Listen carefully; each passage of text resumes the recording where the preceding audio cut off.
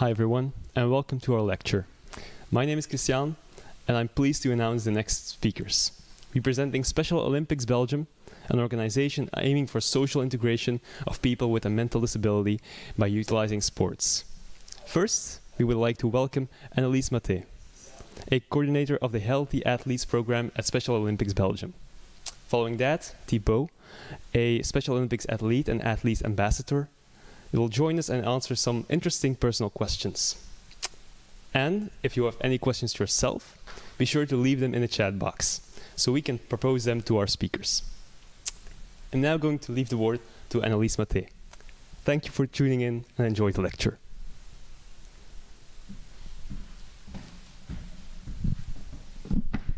Hello, everybody, and welcome for the nice introduction. So I'm going to start to tell you a little bit more about Special Olympics. It's an organization worldwide which is uh, set up by Eunice Kennedy Shriver, and you can hear it already on the name Kennedy. It's indeed family of uh, President John F. Kennedy. Now, John F. Kennedy and Eunice, they had uh, another sister called Rosemary, and she had an intellectual disability. And uh, Eunice, she thought, it's not nice that my sister is not welcome in the community, in the society, and that's why she started organizing uh, sport camps in her backyard. Um, and actually, from that backyard sport camp, the um, organization of Special Olympics was founded, and now 52 years later, we are a worldwide organization aiming, like Christian already told, uh, aiming to in, uh, work around inclusion for people with intellectual disability through sports. We are recognized by the International Olympic Committee, so we are actually one of the three Olympic families. Like the Olympic Games, like the Paralympic Games, we have uh, the Special Olympics. And like I said, worldwide organization 193 countries that we are reaching uh, and in all those countries you have a national special olympics organization and by that way we are reaching 5.5 million athletes now, I told you we have the Olympics, we have the Special Olympics, and we have the Paralympics, but it's very important that there is a difference between the two organizations, Special Olympics and Paralympics. Special Olympics is mostly for people with an intellectual disability. It is possible that on a second hand, besides that intellectual disability, they also have a physical disability, but it is only athletes with an IQ under 75 can participate in the Special Olympics. On the other hand, we have the Paralympics, and Paralympics is for people mostly with a physical disability. But again, the last few years um, and the last Paralympic Games, in a few sports, there were also people with an intellectual disability that participated. That's one big difference, the target group. Other uh, differences are that in Special Olympics we have athletes of all levels. So that means that we have an athlete um, who runs a marathon and very fast, much faster than any of you uh, will do.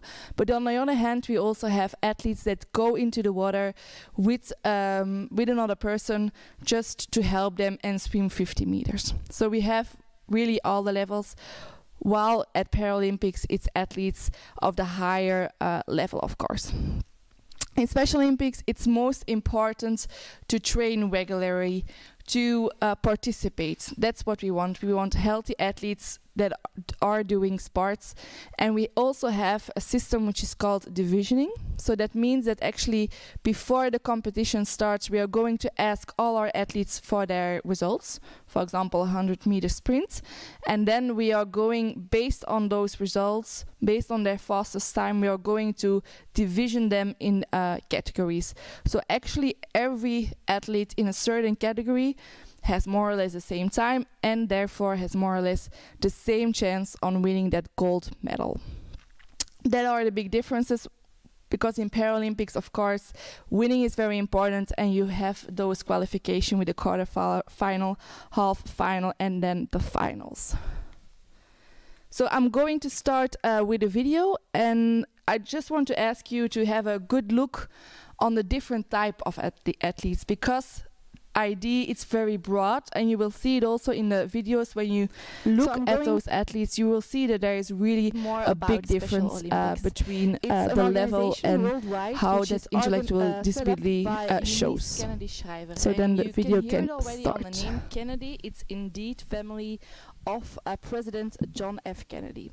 Now, John F. Kennedy and Eunice they had uh, another sister called Rosemary, and she had an intellectual disability. And uh, Eunice, she thought it's not nice that my sister is not welcome in the community, in the society, and that's why she started organizing uh, sport camps in her backyard. Um, and actually, from that backyard sport camp, the um, organization of Special Olympics was founded, and now, 52 years later, we are a worldwide organization aiming, like Christian already told, uh, aiming to in, uh, work around inclusion for people with intellectual disability through sports. In her backyard, um, and actually from that backyard sport camp, the um, organization of Special Olympics was founded, and now, 52 years later, we are a worldwide organization aiming, like Christian already told, uh, aiming to in, uh, work around inclusion for people with intellectual disability through sports. In her backyard, um, and actually from the backyard sport camp, the um, organization of Special Olympics was founded, and now, 52 years later, we are a worldwide organization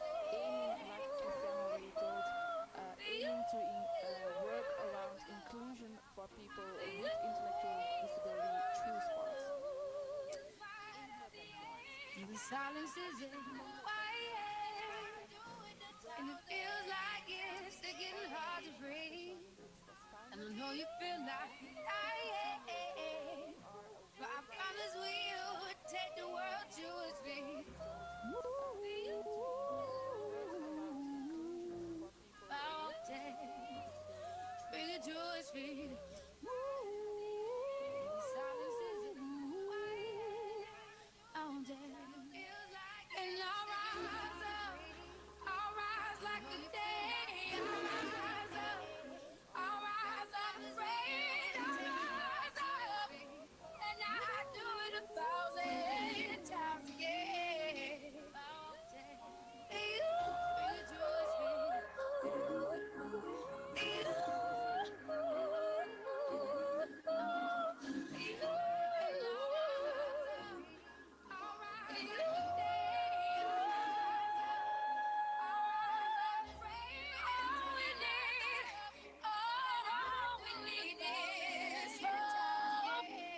We have each other, and for that we have each other.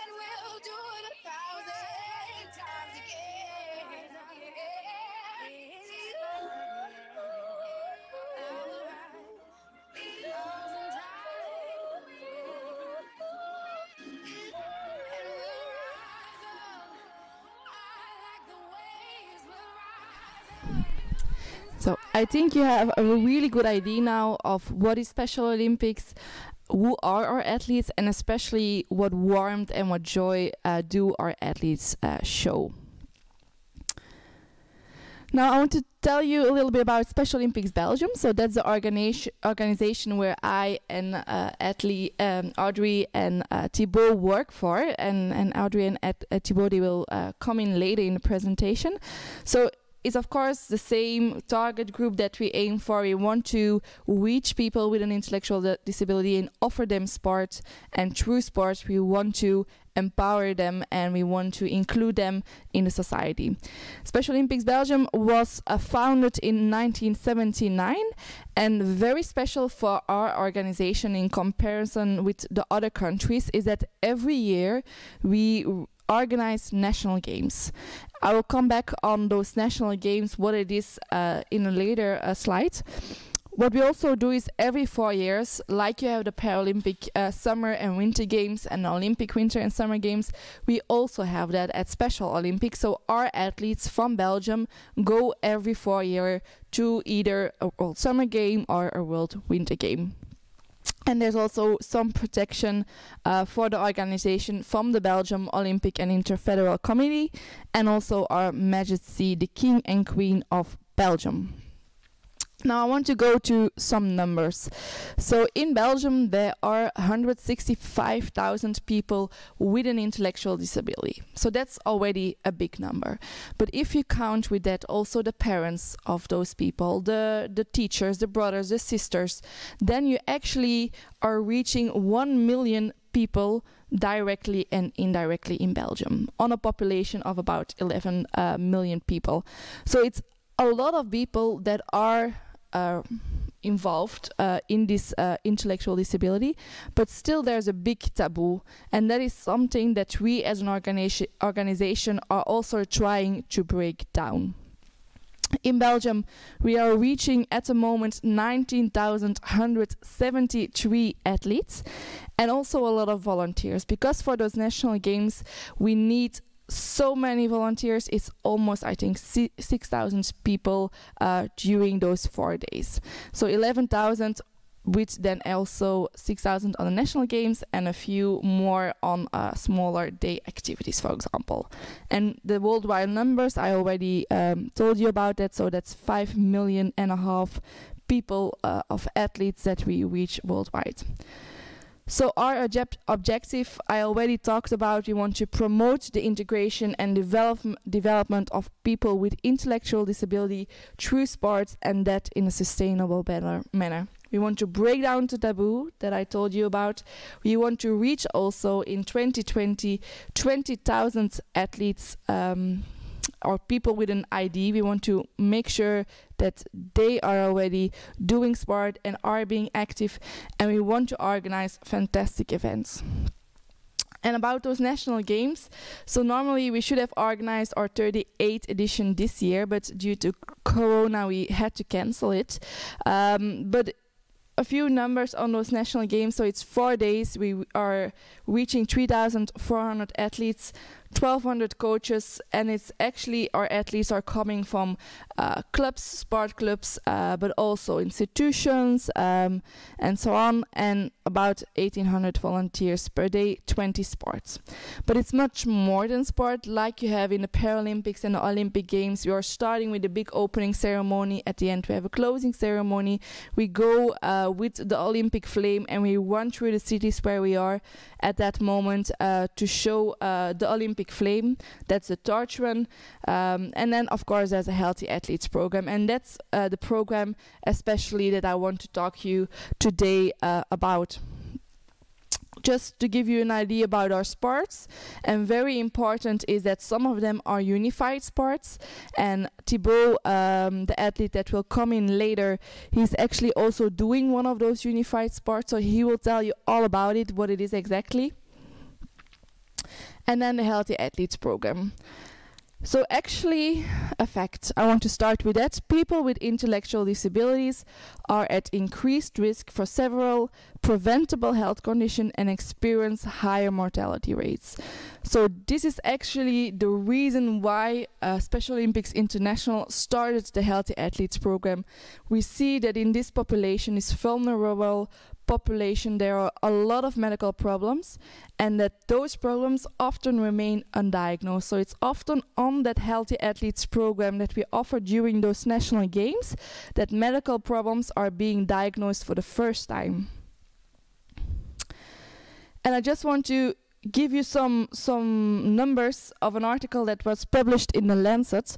Um, so they um, researched the deaths of 247 people uh, with ID in England, and we saw actually that indeed, like I said in the previous slide, the mortality rates are much higher than in general population. So that's the first actually that you see that 22 percent of those 247 people are actually dying before the age of 50 while in the general population that's only 9% so that's already a big difference. Median age is around 64 years old and we see that there's a difference between female and male. So the the male people with id they usually die 13 years younger than in general population while for the female it's even 20 years younger. So i think those are already numbers that's very important to take in your back of your mind when you're in the future treating people with ID. Um, it's very important uh, to have attention for that. And I think I want to show you now a next video. Uh, it was made by uh, Special Olympics International about inclusive health. So I think that's a nice uh, introduction as well to the Healthy Athletes program that I will talk you more about in a minute. That was a great time being part of a basketball team at the Special Olympics World Games. My players have intellectual disabilities, or ID, but they could take on any athletes. Still, a main challenge for these athletes with ID takes place in the health and wellness arena. The reality is a disparity, a real gap between the health of those without intellectual disabilities and those with ID. The gap includes access to quality healthcare for chronic conditions like heart disease or preventing diseases with vaccines. Sometimes patients like me aren't good at expressing our symptoms. And sometimes doctors aren't trained to understand those of us with ID. For me and my teammates, doctors' visits are often too short. And our lives are often too short because of delays in prevention and treatment. My teammates and I will likely die 16 years younger than the general population. 16! The solution is inclusion. Get in there. Special Olympics has provided 1.9 million health screenings and trained over 220,000 health professionals. We're making sure that those with ID have year-round access to health care, prevention, and wellness programs. These victories of inclusion for people with ID are a triumph for human rights. So people with ID need your help. Choose to include me at your doctor's office. Include me on your sports team and include me in your community so I will reach my full potential and inspire others. Okay, hands in. The revolution is inclusion. So again, I think in that video there are certainly a couple of uh, take-home messages for you to take uh, as uh, the doctors for the future. So make sure that once you are there, uh, think about those things that you have seen in this video. The Healthy Athletes program. So, like I said, it's a program that we offer during our national games. And it's actually a program which was founded by Special Olympics International. So they did that with a lot of different experts, always in the field of a specific um, discipline. So we have in Belgium eight different disciplines. The first is Fun Fitness. Fun Fitness is actually a program which is run by physiotherapists, by students in physiotherapy, and they screen the general condition of the athlete, flexibility, strength, and balance. Then we have healthy hearing. For that program, we work together with audiologists, students in audiology, but also ENT specialists. And um, of course, there we test the hearing and uh, the ears. Opening eyes, we screen uh, the visual system.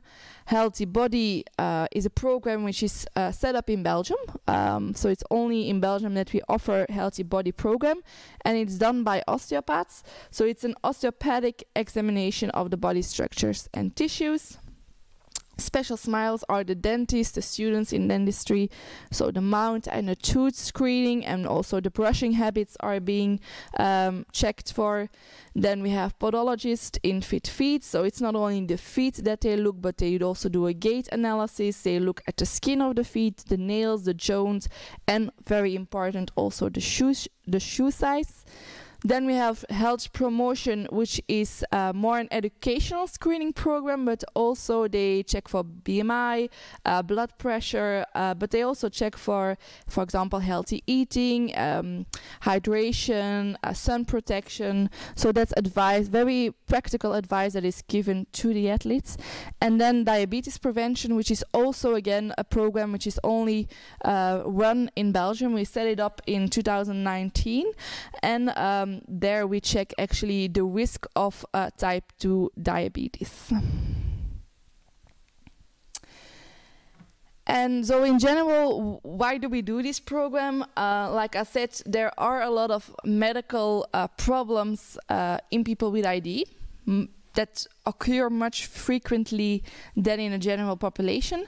But also, those problems are often not recognized, not recognized by the athlete himself, by his parents, by the coach, his, his peers.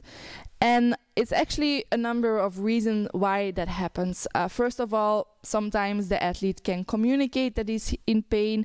Sometimes he doesn't know that it's actually not normal, that his foot is um, being painful, although he has a smaller shoe size. But he doesn't know it that it's uh, it's not normal to feel uh, these things. But what we also sometimes see is like the parents, like I said before, that they don't recognize that there is a problem. We had, for example, um, a mother um, that said, "Okay, my child, she's not." Uh, engaging with her coach she's not doing um, the activities like like the other uh, athletes are doing and she said that's because she has an intellectual disability but in fact we uh, we saw during those testing that she had a hearing problem so the mother said it's due to the intellectual disability that she's not participating. But in reality, the child had a, a hearing problem and therefore she couldn't understand the coach. And that was the real reason why she didn't participate. Um, so, a lot of medical problems. And of course, we want, we are still focusing on sports. So, we want fitter athletes at the starting, start of the competition. And therefore, a fitter athlete will also be a healthier athlete. And of course, all those uh, screenings they are offered during the national games, but they are all free, and athletes actually can choose if they want to participate and come to those screenings or not. And then we are doing those screenings already since 2003. So that means that we have gathered a lot of data. We really have a good understanding of how the medical condition of people with ID is, and we have a good idea of what are the frequent um, medical problems that they encounter. And with those data, we want to go uh, to the peers, to the parents, to the coaches, but also to policymakers um, to create awareness about it and to make sure that something is being done and that something is being done. So to increase the healthcare for people with ID, I will explain uh, in a later slide when we are talking about the Special Smiles program. Of course, for the athletes, we want to make sure if there is a problem, uh, that those problems are being identified. And what we also do is in every discipline, we give advice to them, very specific advice. Um, and if necessary, we will give them a letter uh, to make sure that um, after the games they will go to a specialist to further uh, follow up uh, what we have identified. And another specific objective of this uh, program is for our volunteers. So, so I said already we are working together with students and also professionals of a certain discipline, for example, for fitness with physiotherapy students and physiotherapists. But we know actually that in general, uh, the topic of ID is not very frequently offered in a curriculum. Same for the medical uh, students. So th- that's the left picture on, on the bottom of the slide. We know um, that ID is not enough um, represented in the curriculum. So people, therefore, they don't really know how to interact with them. They are often also afraid of people with ID. And through this Healthy Athletes program, which is very low threshold and very easygoing, um, both volunteers get to get used to people with ID. They know, they learn how to interact with them, um, and at the end, actually, they take all those what they what they have learned with them for their future career, and we see really that in the end, when they are um, students are having their own practice, that they are much more confident about if if they're having a a, a patient with ID in front of them uh, to treat them. So we really see very a lot of beneficial effects for those volunteers as well. Like I said, it's a cooperation with Healthy Athletes program of the universities, the colleges of higher education, and professional associations. And uh, we also work together with service clubs, uh, companies, the governmental institution. So we really have uh, the whole package of uh, of partnerships. Now I want to go uh, through some findings because I think for for you guys those findings are will be very striking as well, and I think it's very important to take um, those numbers with you when you're working in the future with uh, people with ID. So, for example, for Fit Feet, uh, they have um, researched about 4,000 people with um, ID, athletes of us, that came to the Fit Feet program, and we saw actually that one on two of them, one of two of the athletes that come to the Fit Feet screening, need follow up for some kind of reason, and we'll go in that uh, a little bit further. But very important as well is uh, we make a difference between follow up, which is should be done, but it's not that urgent, and urgent uh, follow up. And e- also, one or two of those athletes needed an urgent follow up. So that means that either they have to leave the competition and really go to a doctor or a hospital for immediate care, or they can finish sometimes the competition, but then it's really important that in the next couple of days uh, they have that uh, follow up. One on two, uh, one on five of those athletes had needed that uh, urgent follow up.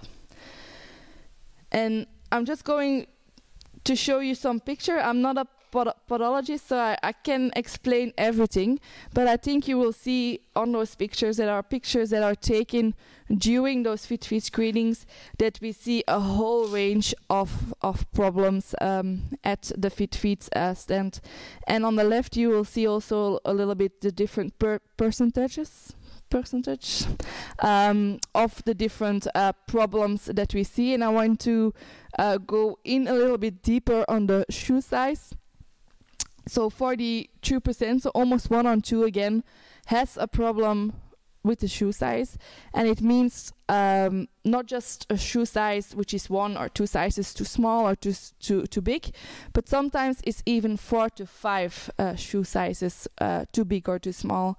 We had for example an athlete um, that came with her sister to the fit feet screening uh, with a shoe size 35 she does a screening and at the end it actually turns out that she had a shoe size 39 on the left and thir- and 40 on the right. So actually for a couple of years she was wearing shoe sizes four five sizes too small.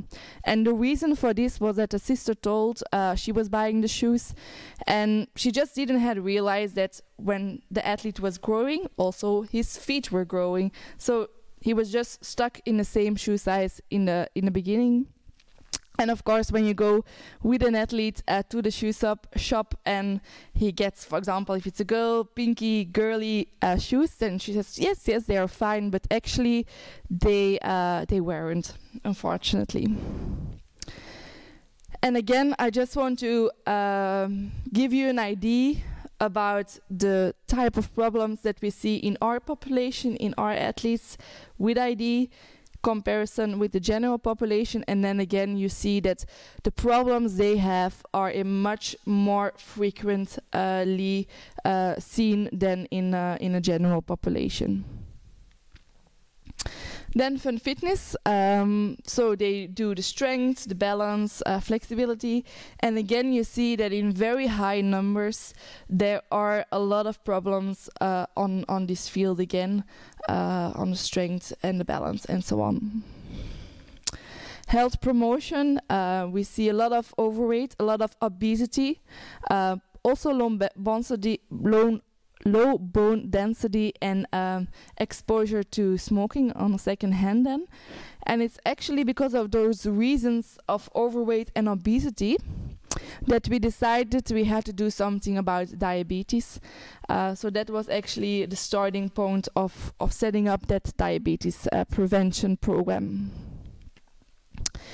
Healthy hearing uh, very important of course because if there is a hearing loss.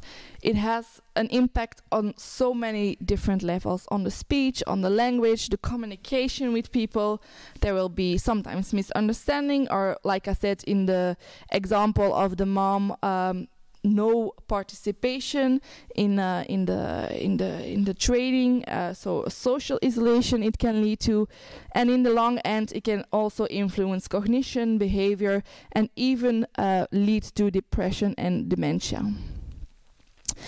So what we see a lot um, of problems is about excessive earwax we know that in this population they really make a lot of um, earwax, uh, much more than in the general population, and that is why we have the ENT specialist on site as well during those screenings, because he or she, the doctor, they will usually first go to that doctor, to the ENT specialist. He will look into the ear if there is excessive earwax, which is a lot in a lot of the cases um, the case.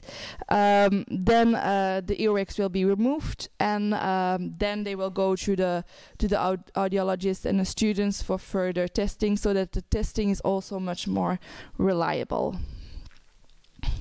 What we also see when they come to the ENT specialist is foreign objects and for example, uh, the left uh, pictures, it's actually the top of pencil. So what happened, um, the athlete, he, her ear was itching and she took a pencil to release the, the, the itching a little bit. But what she didn't had realized was that the top of the pencils had broken off and they had, been, had stuck in the ear and it's actually on that healthy athlete screening at the ENT specialist that those three pencil tops were discovered. And I think you can imagine all if those had been stuck there for quite a long time, it would have caused a lot of inflammation, pain, and maybe in the long end even hearing loss. The second picture is actually the top of um, a little ear when you are listening to music, th- those things that you put in your ear that again had been stuck in the ear canal of one of our athletes. Also on the middle ear, uh, we see a lot of problems much more uh, frequently than in general population, and the same is actually the truth for uh, hearing loss. Now, for hearing loss, I want to add as well that um, 2% of our athletes has an hearing aid, while in fact 12% should wear them. So a lot of people who can be helped with a hearing aid are not wearing them yet. And what we also see is of those 2%, 37 is not wearing them correctly. So that can be that there's, for example, a flat battery and that they, they have them in, but actually they're not working well. So this is really a big problem again that we see and um, encounter with our athletes. Healthy body. Uh, we see, for example, that 4.8% needed acute medical care and sometimes had to quit the competition. And again, for 86%, it was their first diagnosis. So that's what I said before that a lot of the medical problems that we see with our athletes, often it's the first time um, that they are being discovered during those screenings. We see uh, some cardiac insufficiency, but the last one I want to make sure uh, sure that I mention as well is the rib fracture. We see that sometimes, and in this case, it was actually an athlete that um, was going for his judo competition. So you can imagine an athlete with already an existing rib fracture and that is going to go uh, in a couple of hours to judo.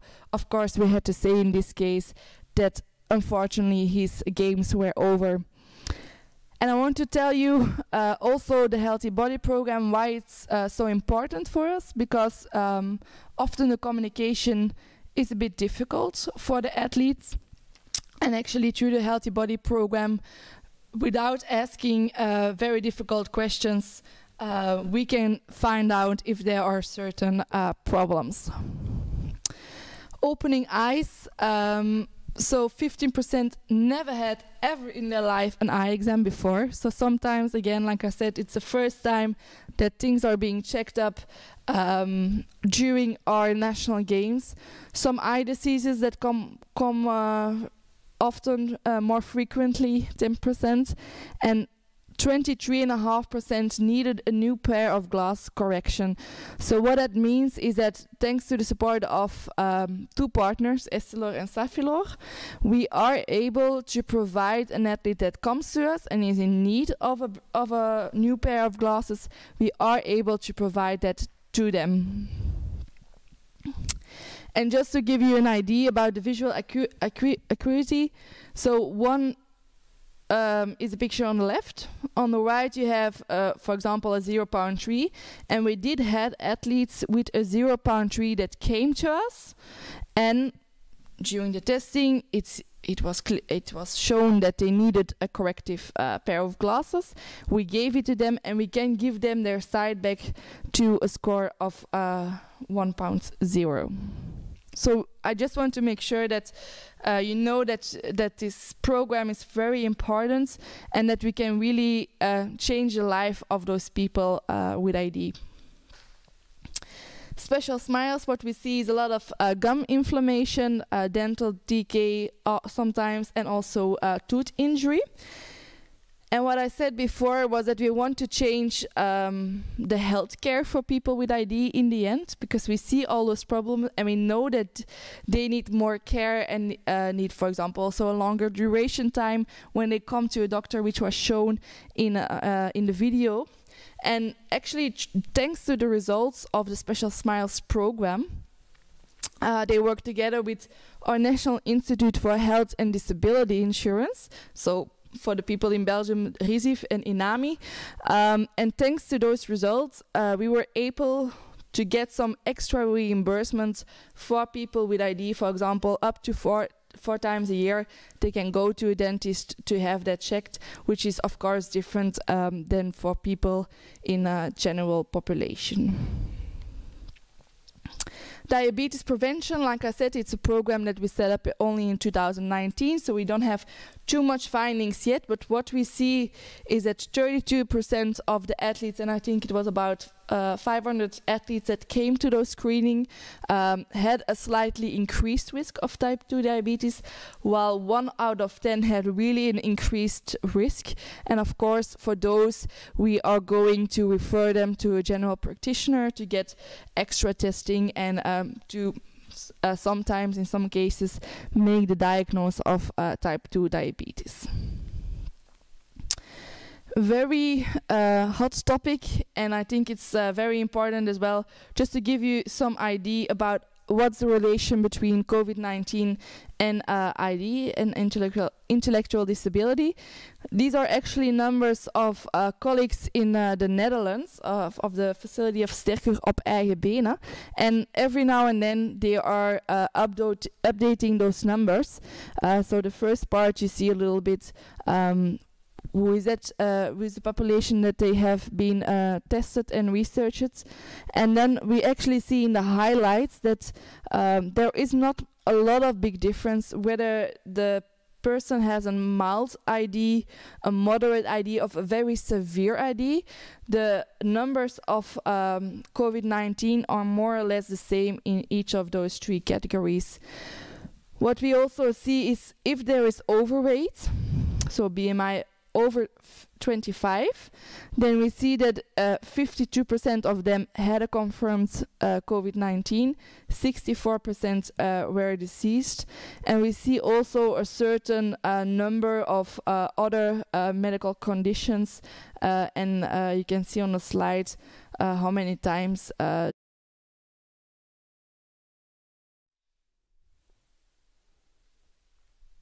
Hi everyone, welcome back to the stream. Sorry for the brief interruption. Uh, we had some technical issues, our stream crashed, but now we're back. Um, Annelies's presentation was almost over, so we will be going um, to the interview with Thibeau, uh, our athlete, um, in a in a few seconds. Um, so thank you if you're still uh, watching. Um, well, then I will give the word to uh, Thibeau.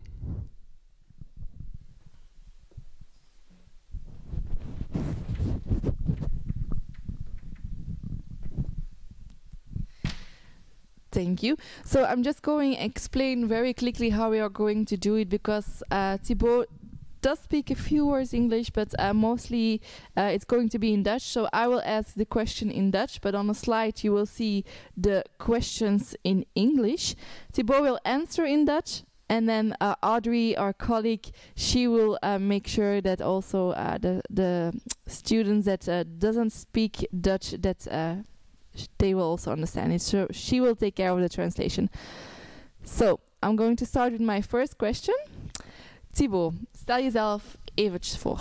Hello, my name is Thibeau and I am athlete ambassador from Special Olympics Belgium and my sport is unified sailing. Oké, Unified Sailing. Leg dat eens uit, want ik heb daarnet ook gezegd tegen de studenten, Unified, wat betekent dat? En wat betekent Unified Sailing?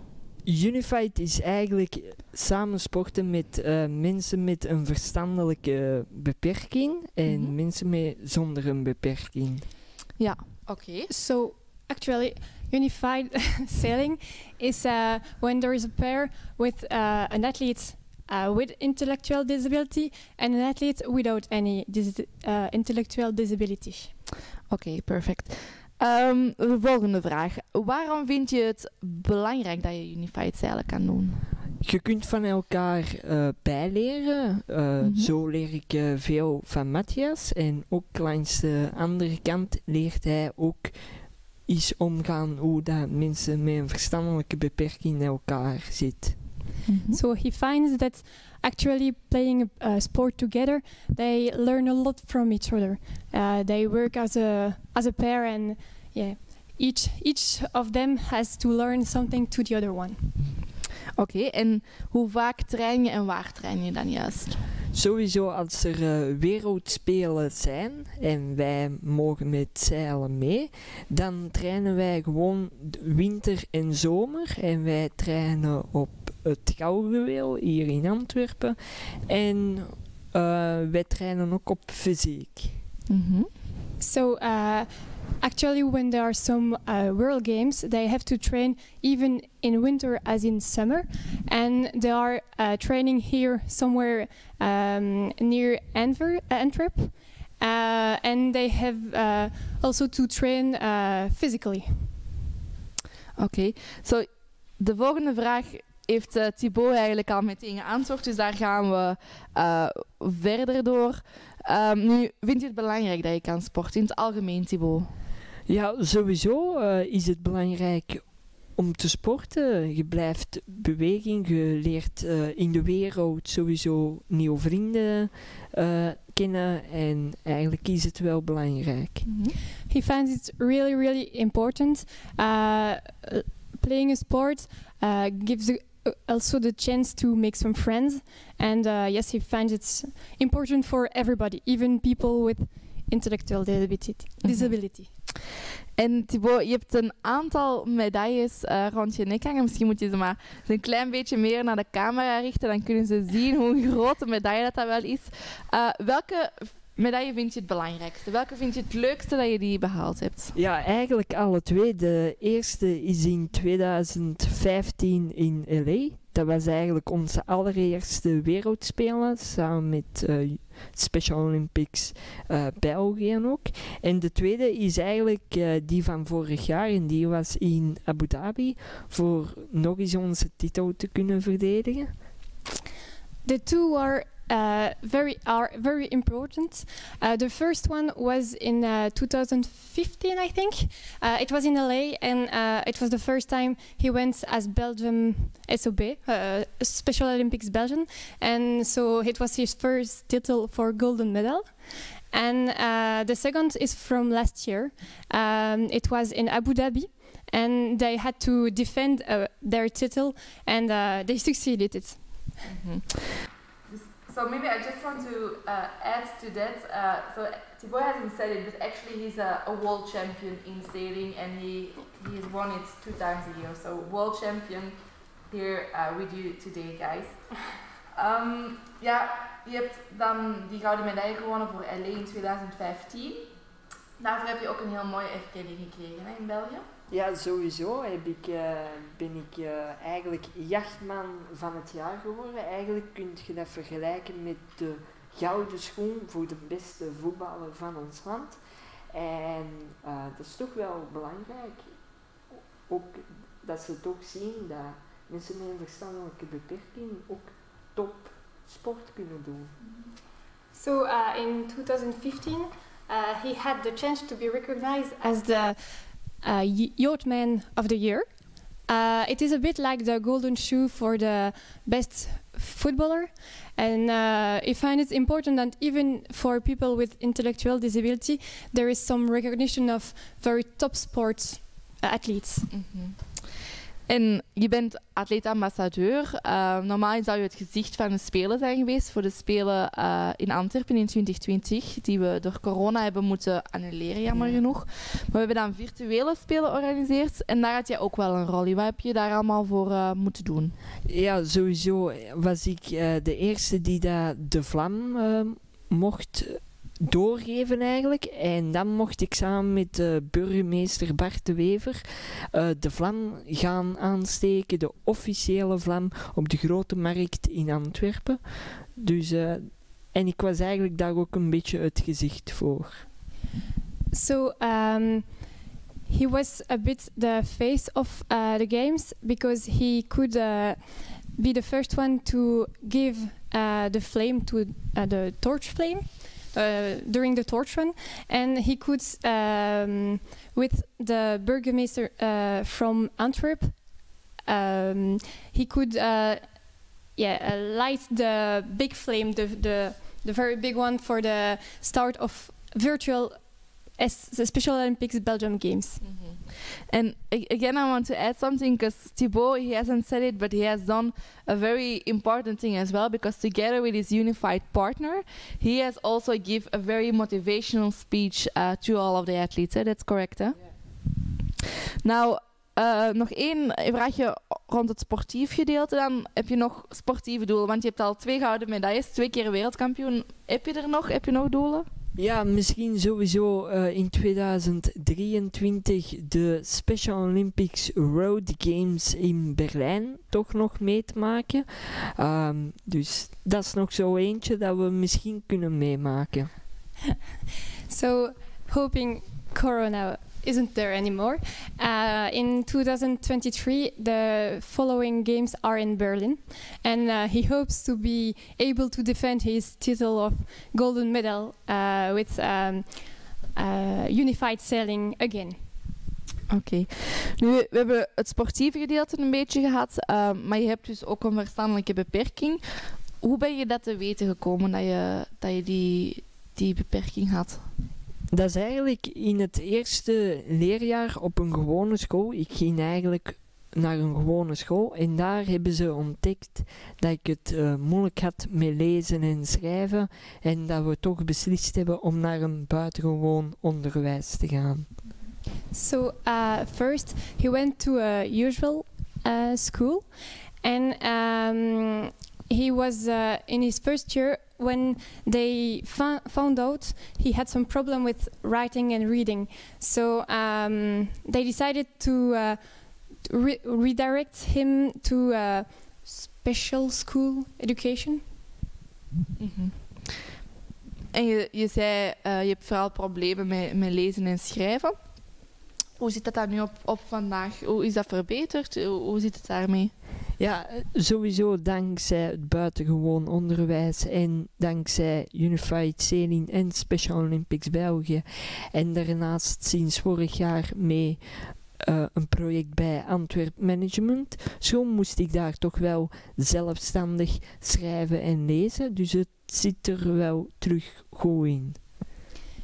So, uh, thanks to a lot of different projects, um,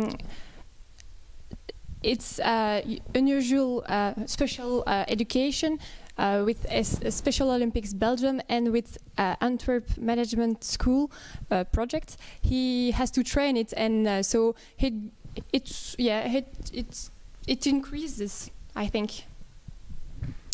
En je sprak over Antwerp Management School. Dus ja, ik vermoed dat je wel werkt. Wat doe je, wat doe je zo van, ja, van werk tijdens, tijdens de week? Hoe, hoe ziet jouw week eruit? Eh, ik werk drie dagen als vrijwilliger bij de stad Mortsel. En dan sinds vorig jaar werk ik ook als eh, vast junior researcher bij Antwerp Management School voor een Europees project waar dat mensen met een verstandelijke beperking in het normaal economie kunnen functioneren. So uh, on one hand, he mm, volunteers at the med, uh, at the city of uh, Mortsel um, in the roads, um, and on the other hand, uh, he's part of uh, Antwerp Management School um, as a junior researcher, and it is in a project to uh, include people with. Uh, intellectual disability inside the economic system and inside um, de enterprise, uh, entreprise. Uh, Companies. companies, ja. Ja. Ehm, nog een laatste vraagje rond dat thema. Eh Thibaut, hoe ga je om met het feit dat je een verstandelijke beperking hebt? Vroeger, eh, toen ik naar die buitengewoon onderwijsschool ging, dan wou ik het zelfs niet aanvaarden. Maar dankzij eh, SOB en mijn Sport Unified Sailing en sinds vorig jaar nu AMS, eh, is het eigenlijk aanvaard. Uh, younger was it really difficult to deal it, with it, but thanks to uh, Special Olympics Belgium, thanks to uh, IMS, and uh, since last year, and uh, yeah, thanks to sport and everything, uh, it gets better. Nu, we hebben het gehad vandaag over het eh, Healthy Athletes programma. Wat vind je ervan? Ja, dat is toch wel belangrijk eh, bij de atleten van Special Olympics. Ook in gans de wereld en sowieso eh, in België. Ik ben ook helemaal gescreend door Healthy Athletes, dus ik weet wat dat is. Um, yeah, uh, he thinks that it's it is very important for uh, any athletes uh, from international side or even in uh, national side. It's uh, yeah, important for everybody. Mhm. En je zegt je hebt het meegemaakt, het programma Healthy Athletes. Zijn er dan ook problemen eh, gediagnosticeerd? Ja, sowieso had ik eh, eh, bij de oorarts een gelichte gehoorverlies. En daar hebben ze eigenlijk gezegd van, kijk, je moet naar de oorarts om dat toch eens te laten checken. En dat hebben we ook gedaan. En ehm, de oorarts zei van, ja, je hebt een uh, gesmal, een, een klein gehoor, en dus daarom. So um, he has done the Healthy Athletes program, and they found out the they thought that the uh, hearing loss. But uh, finally, when they researched a little bit further, um, they found out that it was a narrow uh, ear canal and the production of uh, too much earwax. Mhm. Ehm, Nu, wist je dat op voorhand dat je een gehoorprobleem had? Want ik denk dat er ook nog naast dat gehoorprobleem ook op het vlak van de tanden bijvoorbeeld een probleem was. Wist je dat je die problemen had of hoe zat dat juist? Bij mijn oren wist ik het, eh, wisten we het door mijn huisarts. Ehm, bij de tandarts moesten we sowieso gaan, omdat dat eigenlijk vlak voor Abu Dhabi was. En ehm, ja, we hebben dat dan toch onder handen genomen. Um, hearing problem was the, only one. Wa- wasn't the only one. There was also a problem with its tooth tooth decay. Um, and for uh, the hearing, he know he knew the problem uh, before going to a healthy athlete program, but not for the tenth teeth problem. Ja, en aan de andere kant eh, van, de, van de camera zitten allemaal studenten geneeskunde en die later dokter worden. Ehm, hoe voelde jij je tegenover dokters? Hoe was jullie relatie ten opzichte van een dokter en is dat veranderd vroeger ten opzichte van nu? Ja, vroeger had ik heel veel schrik van dokters en spuitjes. Maar nu, dankzij Healthy Athlete, is dat helemaal veranderd. En vraag ik ook aan mijn tandarts zelfs, ook aan mijn huisarts, om te weten wat dat ze gaat doen en zo. Ik ben er nu wel geïnteresseerd wel. Uh, first, he had a real a big fear of uh, stings, but uh, thanks to uh, the athlete pro- uh, program and thanks to uh, every uh, his own experience in it, uh, his interest in it has uh, increased, and now he, he says that he he is quite interested in it.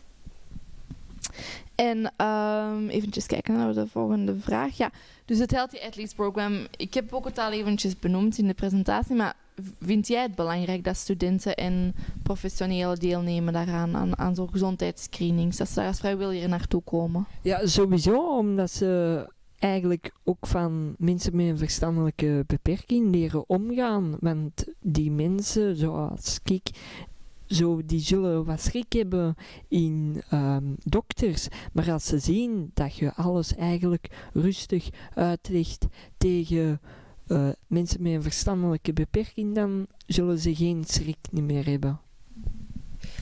Um, he thinks that uh, it's important to have experience uh, of that because when you take the time to explain it and to um, to show that you are confident in it, um, you can make people with disability, uh, intellectual disability, being far less stressed about it.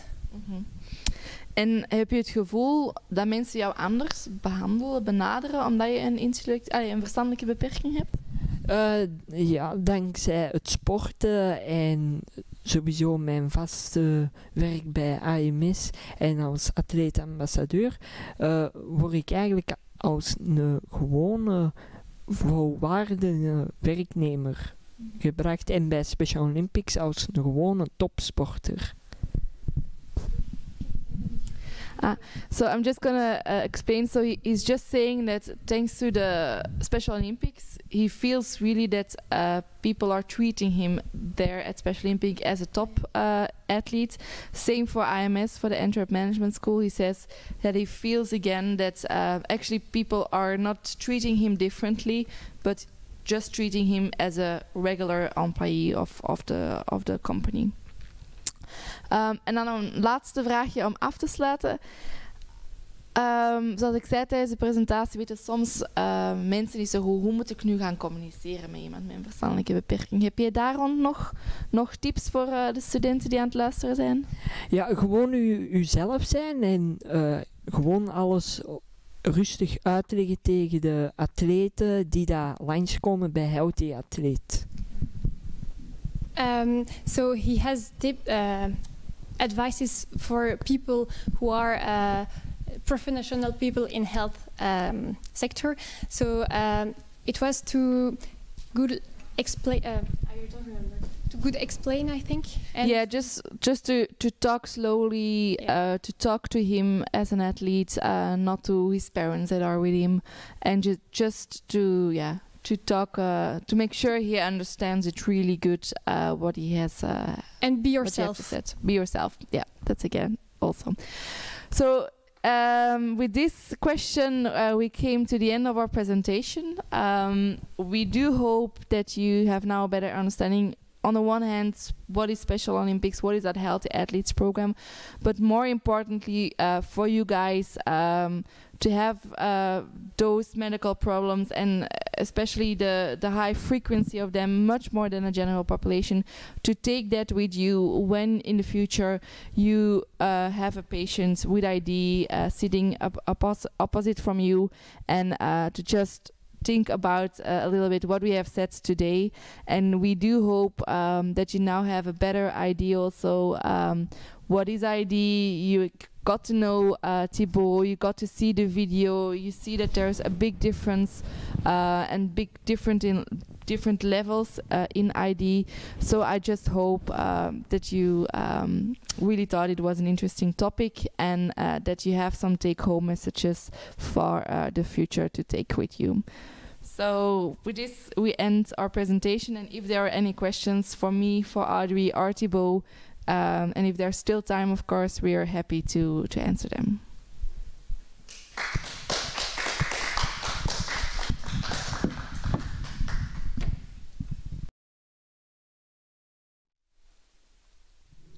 Hello, everyone. Welcome back. Uh, we'll have a short Q and A session now um, because we got some questions in. So um, we'll now be uh, are going to talk with um, our speakers.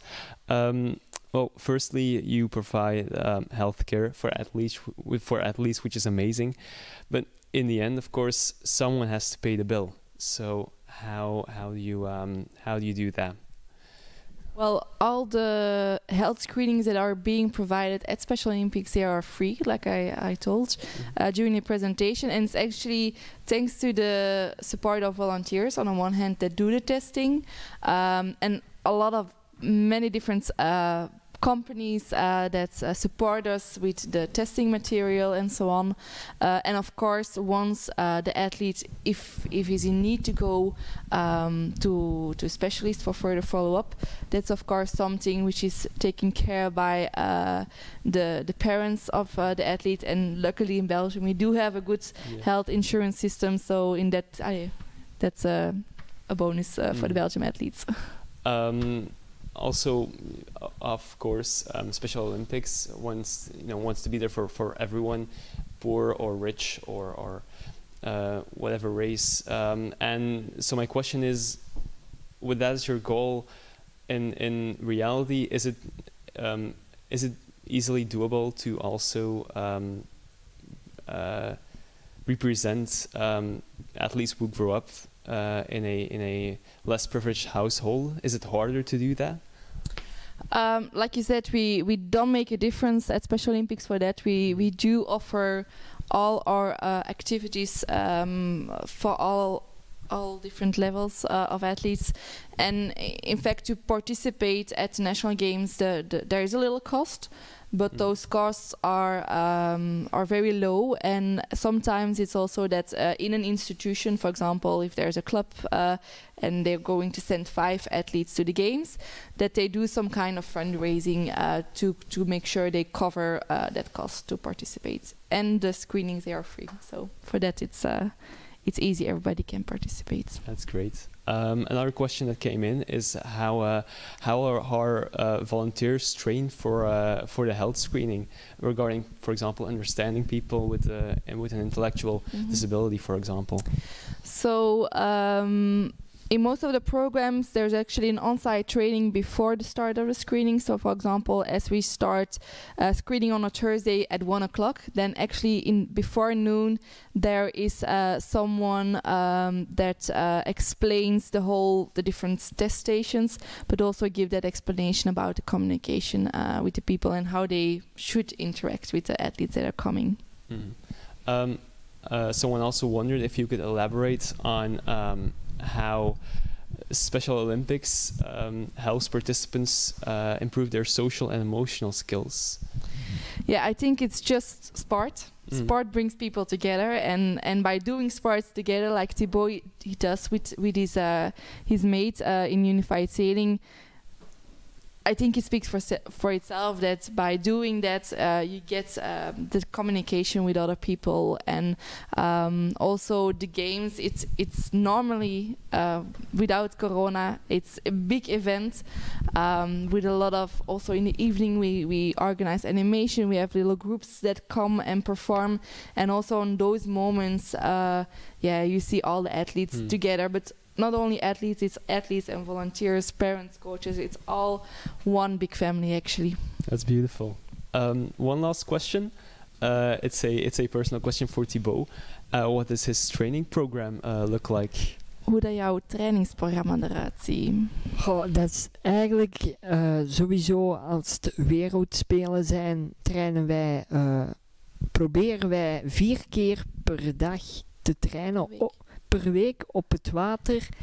En daarnaast ook eh, fysiek twee keer naar de fitness of gaan lopen echt. So he says when he's training for World Games, it's four times a week that he tries to be on the water to really exercise his sailing skills. But on top of that, he's uh, two times a week he's doing conditioning training like running and uh, physical weight. I think eh, krachttraining Ja. ook. So it's a combination of of that in in a year of World Games or national games. All right. Well, those were all the questions uh, I got. Thank you very much uh, for answering them. Thank you very much for giving a very interesting presentation. Um, and thank you at home for watching. I hope you enjoyed it. And uh, see you next time.